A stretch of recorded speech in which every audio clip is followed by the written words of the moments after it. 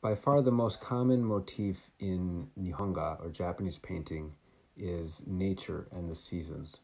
So you will see various representations of plants and animals uh, during different times of the year.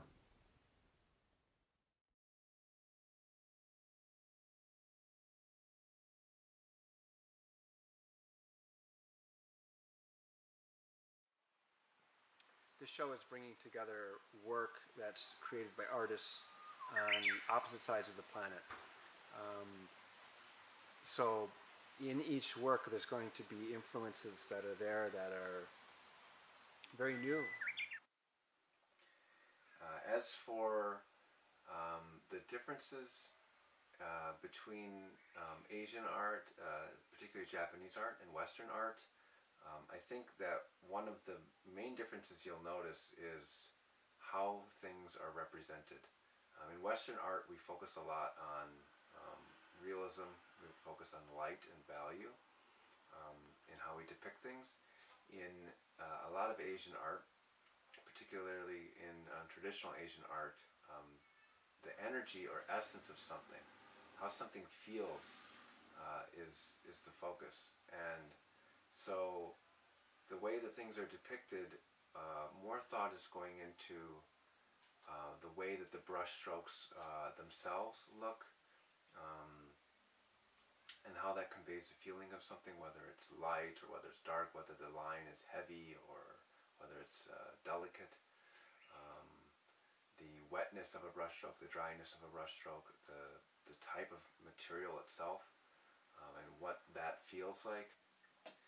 Here's an example of a brush that's used oftentimes in Nihonga. You can see it has a very specific shape. It allows for um, gradation as well as uh, fine lines. So if I just use the tip of it, I can get fine lines, and then I can also get beautiful gradations. I think right now, with the pandemic going on and everyone being essentially in isolation from each other, uh, this idea of exploring off into the horizon and seeing something totally fresh and totally new made by other people is something that a lot of us could really use right now.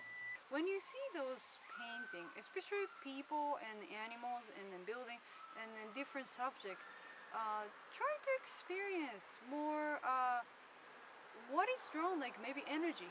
Try to feel the feeling of the subject and then you can be free from kind of a uh, trying to check with like oh this look like this or something.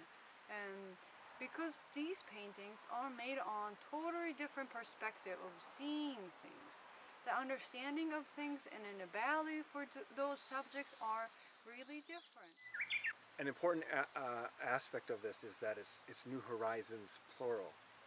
And this speaks to the idea that there is no one single truth. There is no um, absolute truth or absolute idea or absolute way to do something.